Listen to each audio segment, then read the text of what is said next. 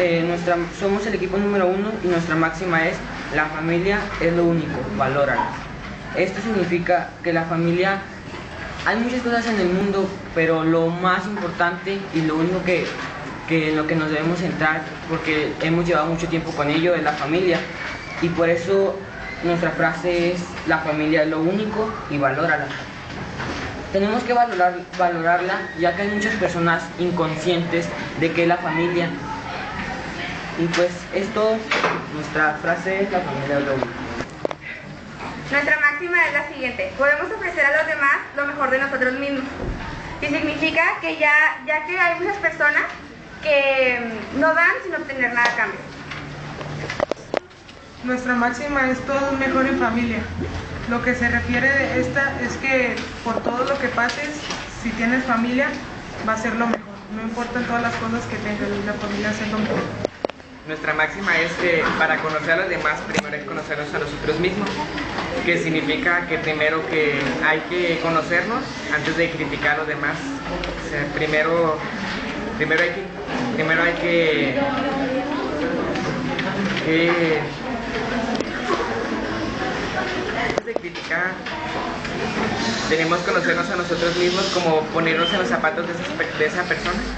¿Dos? Bueno, nuestra máxima es la ética y la moral son un buen ejemplo para todos.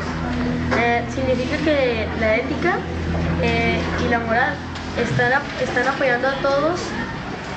Bueno, nuestros derechos son todo lo que critican, todo lo que critican, todo lo que hacemos y todo lo que pensamos y todas nuestras acciones. La moral es lo que la familia te propone para lo que ejerce la familia, que es lo que tú haces. La, nuestra máxima es la libertad es el camino que construimos con nuestros valores y sellamos con nuestras reglas. Eh, aquí habla, nuestra máxima explica que una persona libre debe respetar sus valores y reglas para seguir siendo libre. Buenos días, nuestra máxima es el saber, el saber es el conocimiento más grande que pueda haber. Si tú sabes sobre algo, tienes la capacidad y el conocimiento de hacer cosas más profundas acerca de un tema o, algo. Buenos días, esta es nuestra máxima del equipo 12.